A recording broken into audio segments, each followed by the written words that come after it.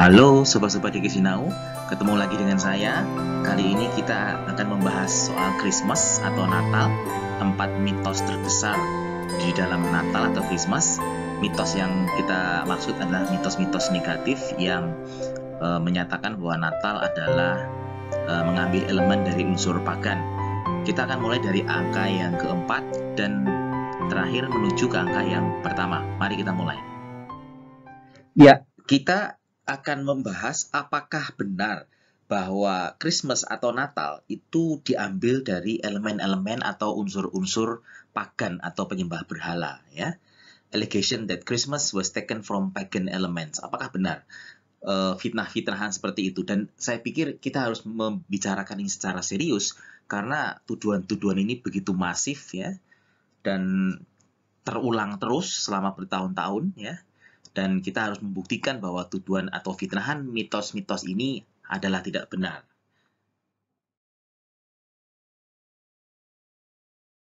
Dalam legenda populer Eropa Tengah, ya, sekitar Bavaria dan Austria itu atau Jerman gitu ya.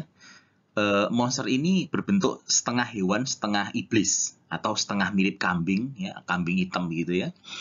E, meng, yang menghukum anak-anak nakal di waktu Natal. Ini seperti uh, kontra dari uh, Saint Nicholas atau kontra dari uh, apa namanya uh, center class begitu ya. Nah, Krampus ini legenda ini berasal dari Jerman sebenarnya, yang sering disebut dengan grup from Krampus bahasa Jermannya ya, yang artinya greeting from Krampus atau artinya adalah salam dari Krampus ya. Dan ini muncul pertama kali tahun 1800-an dalam bentuk uh, kartu ucapan gitu ya, greeting cards gitu. Nah, ini uh, kayaknya semacam untuk menakut-nakutin anak-anak kecil gitu ya.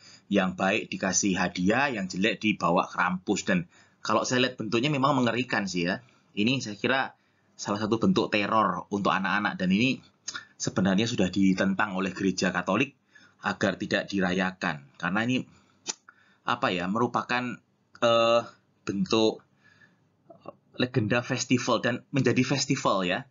Uh, supaya orang pada datang lihat yang aneh-aneh. Oh ya, ada kayak festival semacam Halloween uh, begitu ya. Nah ini uh, yang sebenarnya sangat tidak berhubungan dengan Natal ya hanya untuk rame-rame pada bulan Desember dan uh, Krampus ini berasal dari kata krampen yang berarti cakar atau claws Nah, kalau Anda lihat ini perayaan ramai sekali ya. Ini hanya untuk menyedot masa atau pengunjung karena mengumpulkan banyak orang di acara musim dingin ya seperti itu ya. Anda bisa lihat itu dan kemudian juga ini uh, masuk dalam postcard-postcard dan ini muncul abad ke-16 17 dan pada abad ke-18 baru muncul dalam bentuk postcard dan mulai festival ya. Padahal Natal kan sudah dirayakan pada abad ke-1, jadi tidak ada hubungan dengan Natal sebenarnya sih. Karena banyak orang salah sangka. Begitu melihat festival ini mengatakan, loh itu kan Christmas dari pagan karena benar-benar menampilkan makhluk makhluk-makhluk ngeri-ngeri begitu ya. Uh, acara seperti itu. Sebenarnya itu bukan, ini hanya tidak ada hubungan dengan Natal ya. Ini hanya sebagai untuk rame-rame pada abad 16, mungkin orang bule kurang kerjaan gitu ya. Sepi, terlalu dingin ya, seperti itu. Sehingga dikumpulkanlah banyak orang dengan dengan cara berbuat yang aneh-aneh seperti itu ya. Dan sebenarnya ini juga uh, seperti merayakan titik balik matahari atau winter solstice gitu ya. Uh, yang memang tidak ada hubungan sama sekali dengan Natal. Dan ini pada masa-masa sekarang banyak sekali dikomersialisasi oleh produser-produser film Hollywood diangkat menjadi film horor ya kalau Anda lihat pada ta pada tahun 2015 2016 ya. Itu banyak sekali tema-tema mitos-mitos Krampus ini diangkat eh, dijadikan sebagai film horor ya.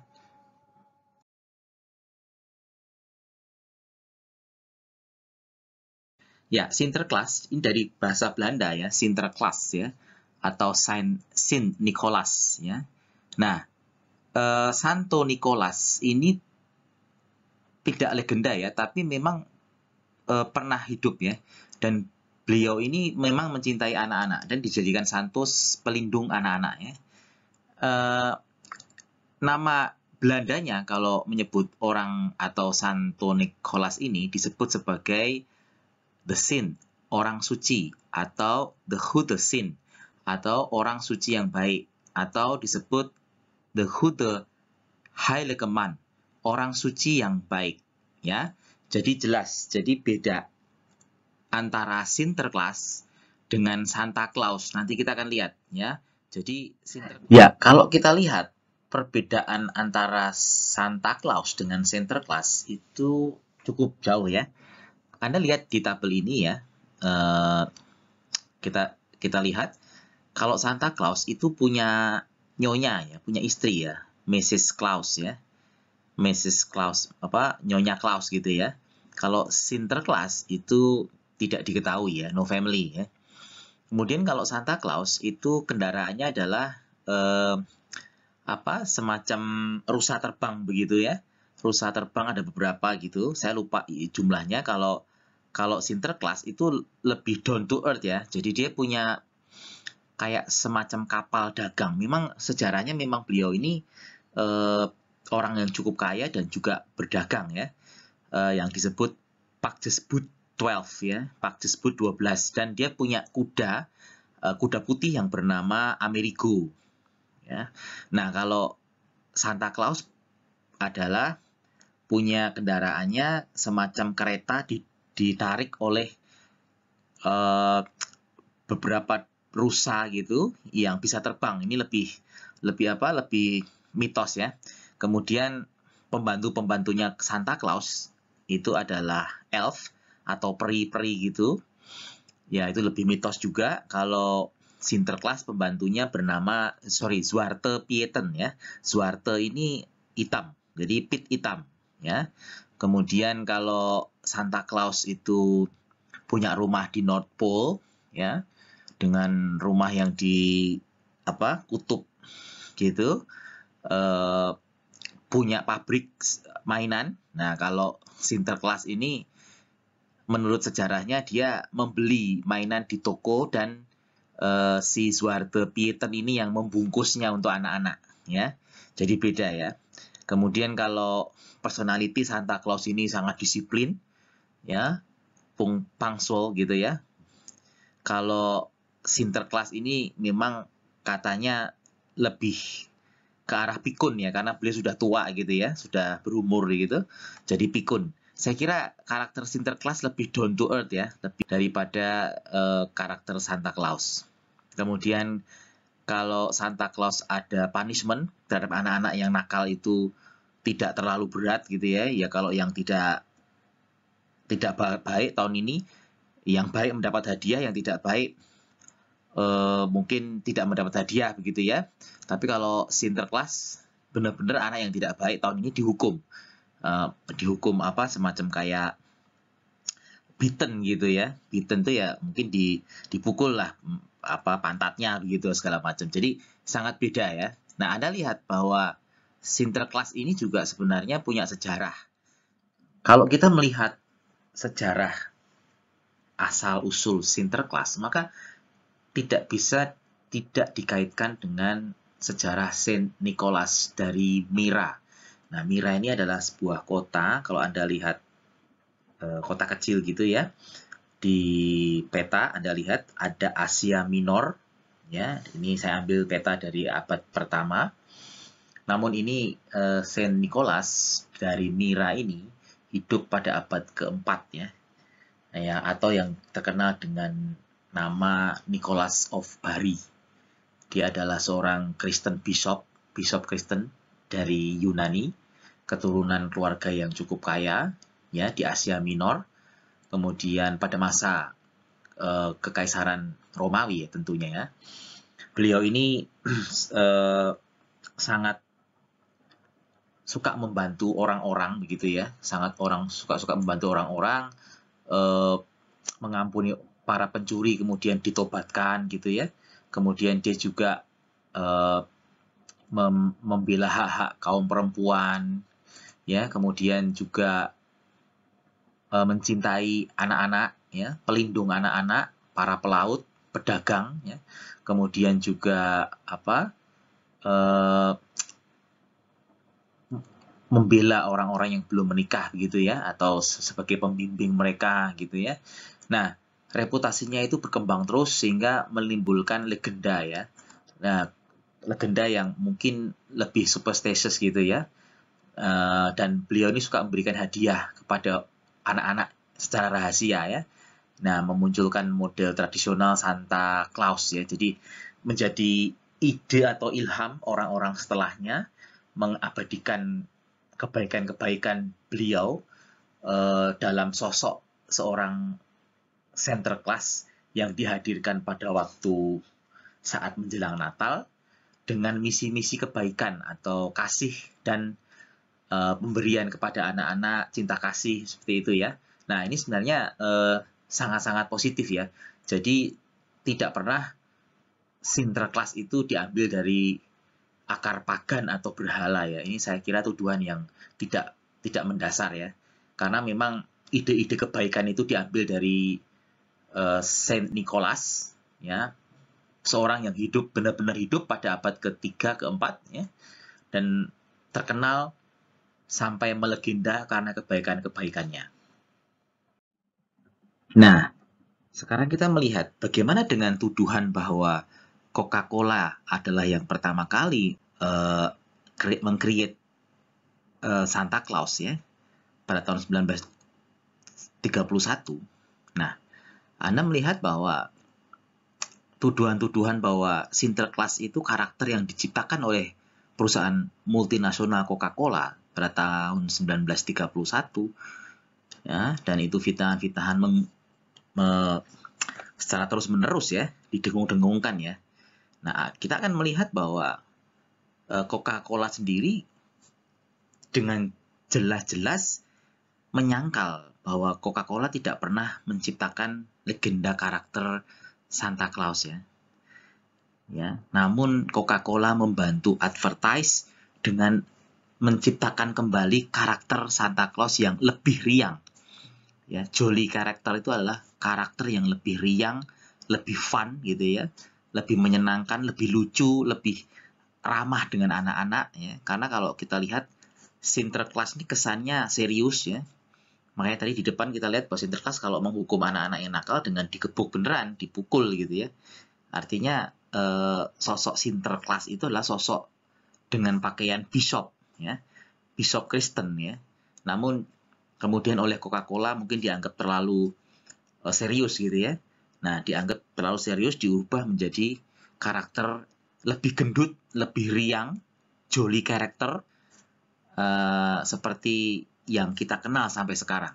Ya, jadi jelas bahwa uh, San, Sinterklas adalah mengilhami Santa Claus yang memang dibuat oleh Coca-Cola agar lebih jolly karakter, lebih menyenangkan, lebih fun, lebih friendly, lebih lucu seperti itu ya, sehingga menyemarakkan uh, perayaan Natal ya.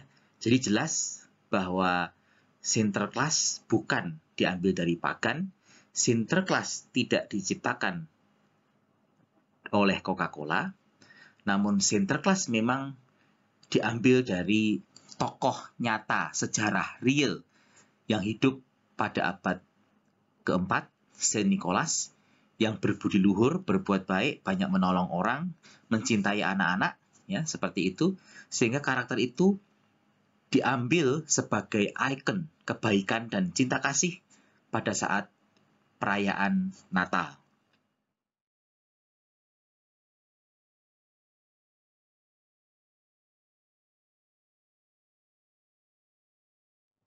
Nah, kali ini kita akan membicarakan asal-usul pohon Natal ya, Christmas tree yang sering diisukan berasal dari budaya pagan ya. Saya pikir ini tidak benar, bagaimana mungkin sepasang pohon di dalam rumah dan dihiasi adalah budaya pagan. Ya, kalau Anda lihat sekarang rumah-rumah modern sekarang minimalis malah menggunakan eh, pohon-pohon plastik ya untuk menghias uh, uh, ruangan ya sehingga tidak kelihatan gersang seperti itu dan sekarang saya pikir sudah umum ya di dalam ruangan terdapat hiasan dari pohon-pohon seperti itu kalau Anda lihat ya.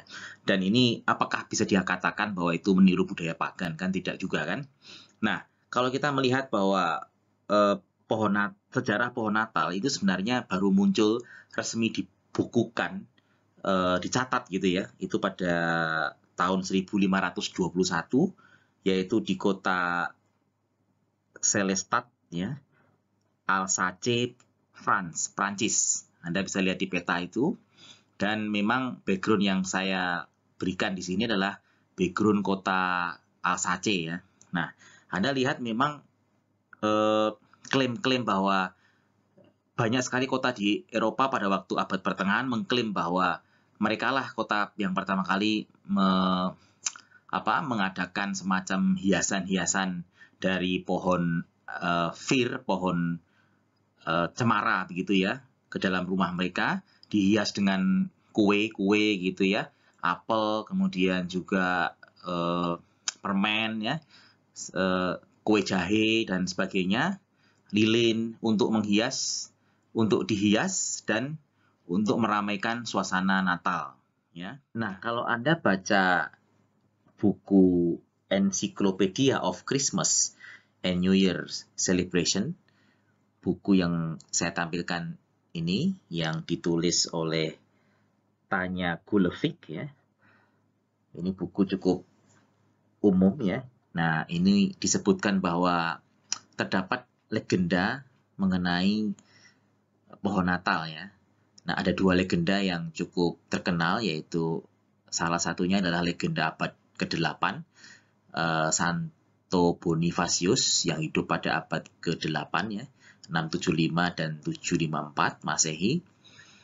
Uh, beliau adalah seorang misionaris Inggris yang berbahasa Jerman. Kemudian pada waktu beliau melakukan misi misionarisnya, beliau bertemu dengan orang-orang Jerman yang masih menganut kepercayaan berhala atau pagan atau kaum druid gitu ya, druid yang biasanya dalam penyembahannya uh, melibatkan pohon oak ya atau oak tree yang besar. Dan memang kalau kita lihat oak tree atau egg tree ini memang pohonnya bisa sampai berumur ribuan tahun ya. Yang Anda bisa lihat di slide ini yang saya tampilkan juga oak tree yang jenis ini bisa hidup seribu lebih tahun ya dan memang Nah, dalam cerita itu beliau memukul pohon ek itu dengan satu pukulan dengan kampaknya ya karena beliau melihat pada waktu itu ada upacara pagan atau berhala di sekitar pohon oak tree itu, pohon ek itu yang akan mempersembahkan pengorbanan manusia. Nah, kemudian beliau melihat itu, beliau marah dan memukul pohon ek itu dengan satu pukulan dengan kampaknya sehingga pohon itu tumbang. Dan setelah eh, pohon itu tumbang secara ajaib gitu ya, maka eh, orang-orang druid atau yang, yang menganut kepercayaan berhala tersebut kemudian bertobat dan Santo Bonifacius ini menunjuk ke sebuah pohon cemara kecil atau fir tree yang terletak di antara reruntuhan pohon oaks ya, X ini dan menyuruh untuk menanam ya mengganti pohon ek ini dengan pohon e, cemara kecil ya dan itu dianggap sebagai simbol iman baru mereka terhadap kelahiran e, bayi Kristus. Nah, jadi memang pohon cemara ini mempunyai legenda-legenda yang bagus, yang baik, ya. Tidak ada hubungan dengan pagan atau berhala, ya. Kemudian ada juga legenda Kristen lainnya yaitu pohon Natal mengkaitkan pohon Natal dengan tokoh Martin Luther ya tahun abad ke-15, abad ke-15 ya, abad ke-15, abad ke-16. Martin Luther adalah se seorang tokoh uh, reformasi Kristen ya pada waktu itu. Pada suatu malam Natal uh, Martin Luther yang sebagai uh, tokoh reformasi Kristen menemukan dirinya berjalan di hutan ya melalui hutan. Kemudian beliau melihat ke atas dan mengagumi keindahan bintang bersinar yang melalui cabang-cabang pohon cemara yang sangat menyentuhnya sehingga Martin Luther berinisiatif untuk menebang pohon kecil, pohon cemara yang kecil, dan membawanya pulang dan menutupinya dengan uh, lilin, menghiasi dengan lilin, ya, sebagai pengganti uh, cahaya bintang, ya. Dan dari sinilah beliau menjelaskan kepada keluarganya bahwa cahaya dan keindahan lilin yang ditempatkan di pohon cemara tersebut mewakili Kristus terang dunia sebagai terang dunia. Ya, ini ada dua legenda ini eh, sangat kuat. Ya, sebenarnya mungkin legenda-legenda ini hanya untuk meningkatkan popularitas pohon Natal. Nah, kemudian kalau Anda lihat di kitab Yesaya atau eh, kitab Isaiah ya kalau dalam bahasa Inggris ya, ayat 41 19 sampai 20 tersebut bahwa Tuhan membicarakan tentang uh, ciptaannya yang berhubungan dengan pohon-pohon seperti pohon aras ya. Tuhan mengatakan bahwa berfirman, "Aku akan menanam pohon aras di padang gurun, pohon penaga, pohon murat, dan pohon minyak, dan aku akan menumbuhkan pohon sanobar di padang belantara dan pohon berangan serta pohon cemara." Nah, Anda lihat, pohon-pohon ini memang tumbuh di Timur Tengah dengan e, menakjubkan dan kalau kita lihat di Google, Anda bisa googling sendiri ya, pohon-pohon aras, pohon penaga, kemudian pohon sanobar dan pohon cemara, ini mirip-mirip ya bentuknya maupun eh, baik bentuk batangnya maupun daunnya, kemudian bunganya juga mirip-mirip semua. Saya tidak tahu apakah itu masih satu family atau satu genus gitu ya. Nah, Anda juga bisa cek sendiri dan memang eh, pohon-pohon eh, ini kalau saya boleh bilang bentuknya dan daunnya pun bunganya pun mirip semua. Ya. Dan disebut dalam kitab oleh Tuhan sebagai bukti atau sebagai agar orang melihat dan mengetahui dan memahami bahwa Tuhanlah yang membuat semua ini, Allah yang Maha Kudus, Allah Israel. Ya. Anda bisa lihat di kitab Yesaya. Dan kalau Anda lihat bentuk pohonnya memang mirip-mirip ya, mirip-mirip semua. Jadi kalau ada orang yang berargumen bahwa oh uh, pohon cemara itu dipakai oleh kaum pagan uh, dalam ritual uh, ritual-ritual berhalanya. Saya juga bisa bilang bahwa pohon cemara dipakai Tuhan untuk menyatakan kemuliaannya gitu loh. Ayatnya juga ada gitu kan. Jadi saya pikir yang menyatakan bahwa pohon Natal cemara itu identik dengan penyembahan ritual berhala itu sangat lebay ya, sangat tidak masuk akal, omong kosong ya, fitnahan omong kosong ya. Bahkan di kitab-kitab lain pun uh, kalau anda melihat seperti pohon uh, sanobar ya pohon sanobar itu dipakai juga uh, sorry pohon aras ya itu dipakai di sebagai uh, untuk membangun istana kalau anda baca di Epic Gilgamesh ya bahwa bangsa Sumeria membangun istananya dari pohon aras ya aras Libanon ya aras Libanon Nah, ini juga mirip-mirip bentuknya dan daunnya seperti uh, cemara ya. Ya, seperti itu. Di kitab Kidung Agung 1 17 ya Anda lihat ya. Kemudian juga kalau Anda melihat bahwa bait Allah yang dibangun Salomo di satu Raja-Raja 5 ayat 6 uh, itu juga jelas bahwa istana-istana Salomo dibangun sejak Raja Daud ya. Itu dari kayu-kayu aras dan sanobar ya. Kemudian juga kayu aras di Imamat 14 dipakai ya sebagai instrumen untuk pentahiran orang-orang yang menderita kusta ya. Jadi jelas bahwa kalau kita mau e, mendasarkan bahwa pohon ini dan pohon itu e, adalah mempunyai sejarah pagan atau tidak pagan, saya kira tidak tidak tidak relevan ya karena semua pohon adalah netral. Semua batu adalah netral. Hanya manusia yang kemudian menjadikan batu dan pohon sebagai berhala. Tapi kalau pohon misalkan kita jadikan sebagai hiasan Natal sebagai uh, perlambang Tuhan Yesus kematiannya dan kebangkitannya kemudian sebagai apa perlambang pertobatan dan sebagainya apa uh, saya pikir itu sangat sangat bagus ya. Dan juga memang di samping mempunyai motif atau mempunyai latar belakang yang bagus kemudian juga mempercantik dan memerindah ruangan menyemarakkan suasana uh, perayaan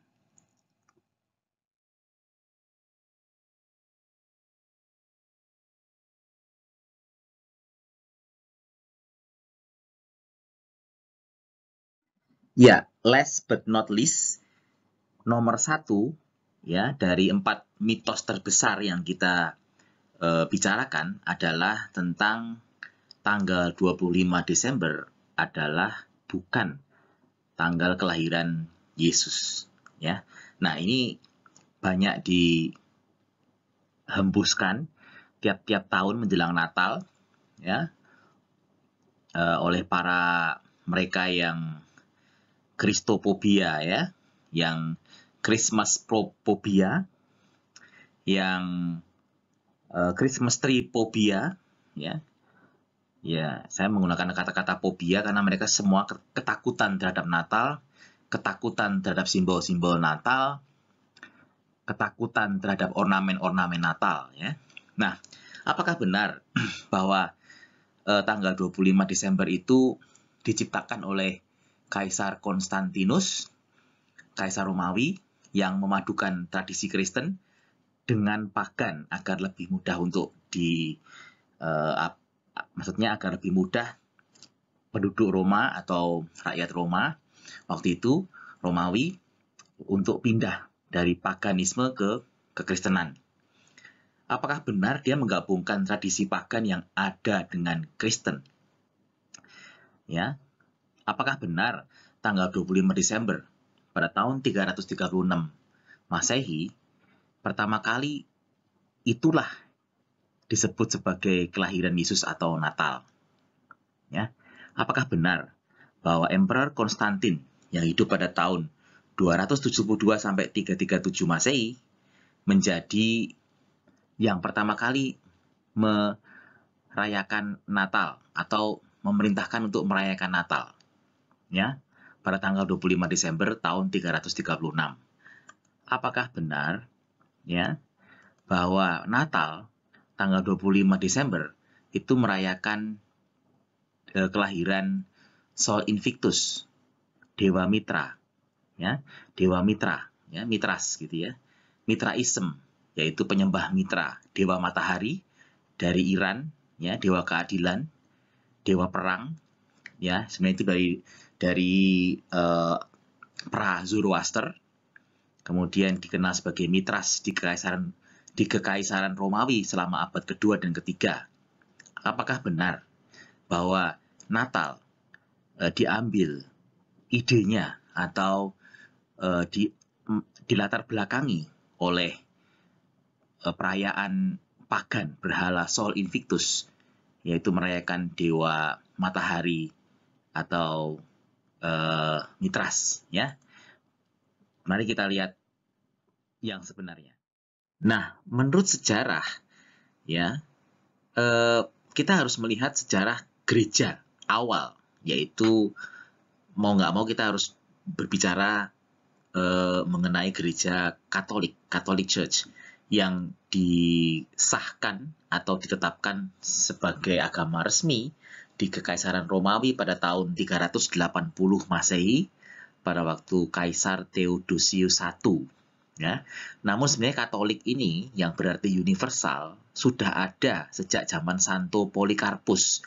Siapa Santo Polikarpus ini adalah murid Rasul Yohanes yang untuk menjelaskan gereja yang utuh dalam meneruskan firman Allah dan ajaran para rasul. Jadi eh, pada waktu Santo Polikarpus abad pertama itu hidup, ya kata Katolik sudah digunakan.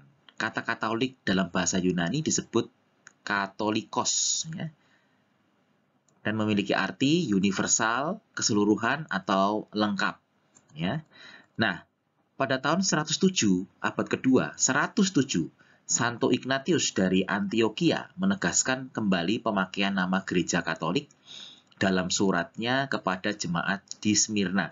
Jadi jauh ratusan tahun sebelum uh, Kaisar Theodosius I pada tahun 380 menetapkan Katolik sebagai agama Katolik sebagai agama resmi, sebenarnya secara institusi agama Katolik sudah ada, ya, ratusan tahun sebelumnya, bahkan abad pertama, ya.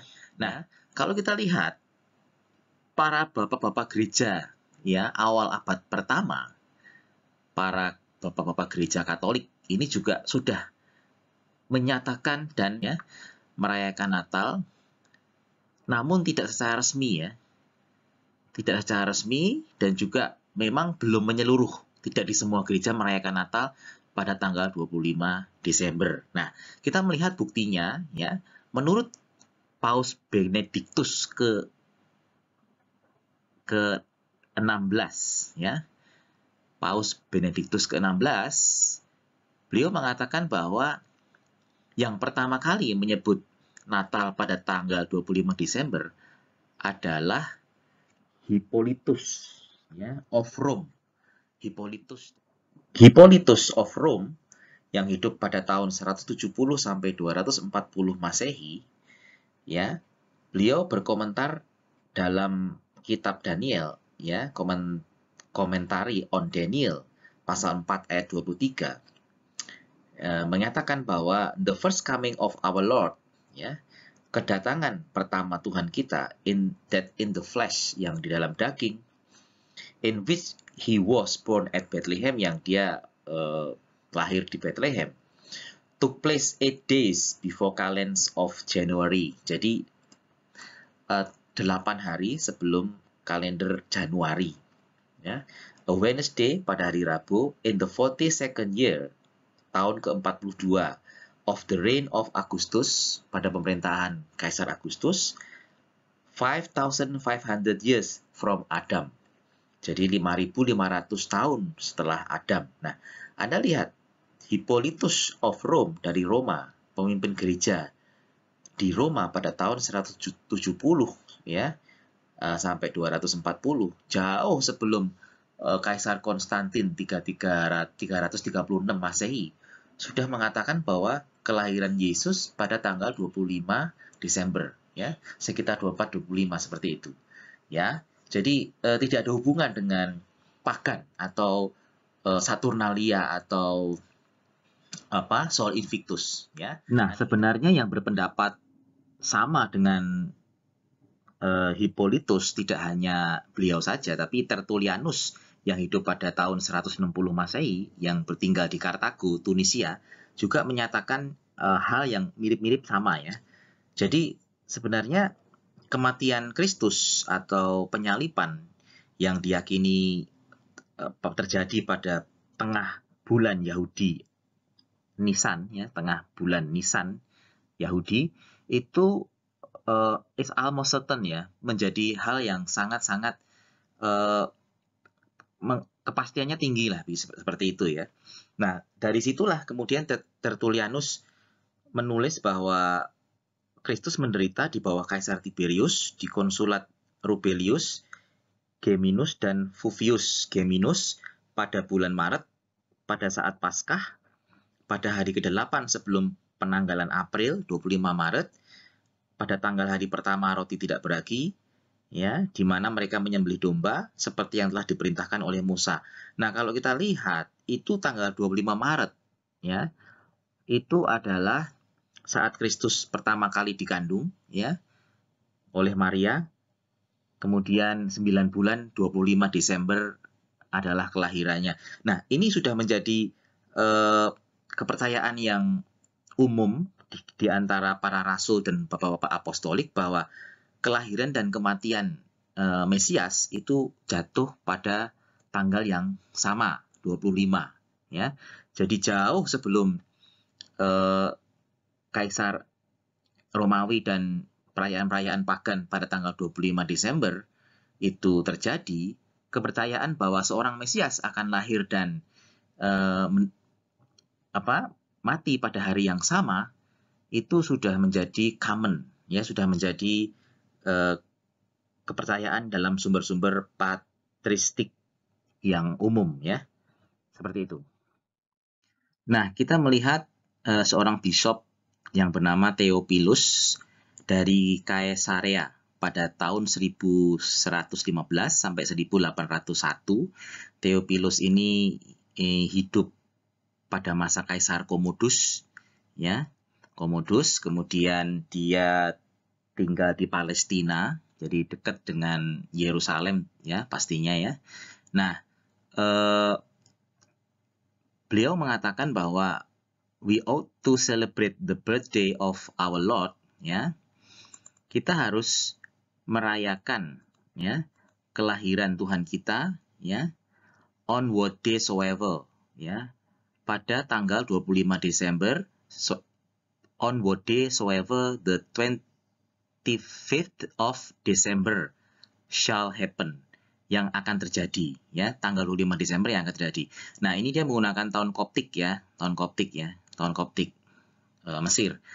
Nah, kalau Anda lihat keterangannya. Nah, kenapa e, bedanya dengan para Kristen Koptik dan Ortodok ya, beda sekitar 10 hari ya karena perbedaan penggunaan kalender Gregorian dan kalender Julian ya.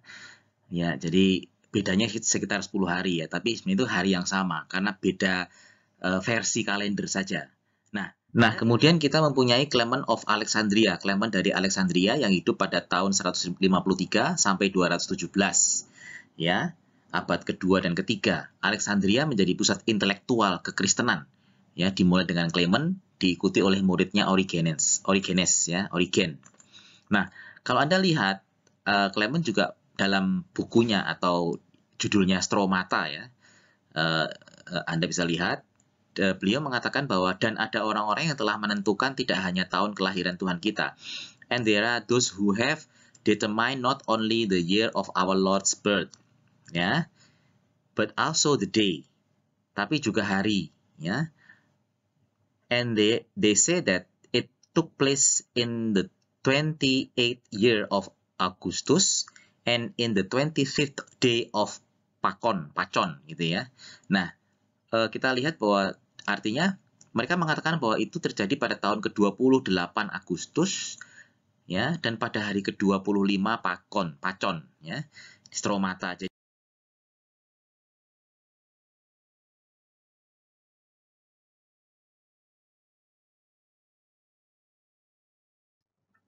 Nah, uh, Apostolic Constitution, ya, Apostolic Constitution atau yang disebut dengan Konstitusi Apostolik.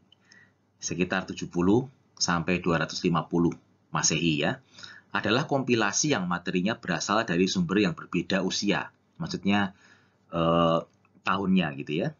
Para penulis awal cenderung untuk menetapkan mereka ke zaman kerasulan, ya, uh, seperti Clement Romanus ya, dan sebagainya. Di situ ada Didace, ada Didaskalia Apostolorum, dan sebagainya. Nah, kalau kita melihat, uh, let's say, Didaskalia Apostolorum, ya, itu adalah legal treatise which belongs to the genre of church orders. Jadi, Didaskalia ini salah satu uh, yang berisi liturgi-liturgi gereja-gereja awal, gereja-gereja kuno, ya. Ya, yang berbunyi it, it presents itself as being written by the 12 apostle at the time of the Council of Jerusalem. Jadi, berisi juga tulisan-tulisan 12 rasul yang pada masa konsili Yerusalem, ya. However, scholars agree that it was actually a composition of the third century, perhaps around 230 AD. Jadi kemungkinan itu ditulis eh, tahun 230 lah, seperti itu. 230 AD ya. Itu menurut scholar ya. Dan itu bisa juga lebih awal ya. Nah, kalau Anda lihat di dalam Didaskalia Apostolorum itu ada tertulis brethren ya. Saudara-saudara ya, artinya observe the festival days. Perhatikan hari-hari raya. And the first of all, the birthday which you are to celebrate. Ya. Dan yang pertama-tama adalah hari ulang tahun yang harus kamu rayakan pada tang pada tanggal 25, ya. Yang disebut which you are to celebrate on the 25th of the nine month pada bulan ke-9. Nah, nah, the nine month itu di atau bulan ke-9 dihitung dari bulan Nisan atau April atau yang adalah Kislev ya dalam kalender Yahudi. Kemudian ditransfer ke kalender Romawi. Maka the nine month bulan ke-9 itu adalah bulan Desember. Jadi jelas ya, Desember 25, 25 Desember. Nah, nah uh, ini ditulis jauh sebelum Kaisar Romawi yang pada tahun 270-an itu menetapkan Sol Invictus tanggal 25 sebagai perayaan, ya. Sehingga uh, saya pikir siapa yang duluan kan seperti itu. Nah, kemudian kalau Anda lihat dokumen kuno lain, yaitu Anda bisa lihat yang bernama Liber Pontificalis. Nah, Anda bisa lihat di layar The Book of Pontiff atau buku paus ya. Nah, itu berisi list atau daftar-daftar paus dari paus pertama, Rasul Petrus sampai rasul-rasul yang kemudian. Ya. Jadi uh, Liber Pontificalis ini ditulis kemungkinan oleh Santo Jerome pada tahun 300-an dan bisa lebih awal, earlier, could be earlier dan sempat berhenti kemudian tahun 800 dilanjutkan kembali. Nah, di dalam uh, Liber Pontificalis ini tercatat ada seorang bishop dari Rom yang bernama Telepor, Telesporus ya, paus ya. E, dari Roma, Telesporus tahun 126 Masehi ya. Anda lihat ya, ada di gambar. Nah, e, beliau Telesporus ini sudah me, mencatat atau me, buk, apa namanya me, menyarankan agar jemaatnya merayakan perayaan kelahiran Yesus. Belum ada Natal ya, karena Natal namanya kan de, uh, belum ada nama Natal ya, maksudnya merayakan perayaan kelahiran Yesus ya. Di situ tertulis, Anda bisa lihat di layar ya. Uh, he appointed that at the season of the nativity of our Lord Jesus Christ. Ya, jelas ya. Jadi ada seasons bulan-bulan uh, perayaan kelahiran Yesus. Kemudian dia juga ada di slide selanjutnya ada tulisan Masses should be celebrated during the night. Jadi misa harus dirayakan pada waktu malam.